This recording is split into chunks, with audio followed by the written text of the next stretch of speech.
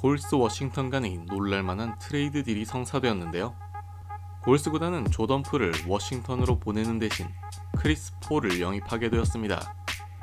골스는 풀 외에도 2022년 2라운드로 지명한 라이언 롤린스와 함께 2027년 2라운드 pick, 2030년 1라운드 top 20 보호pick도 보냈다고 하는군요.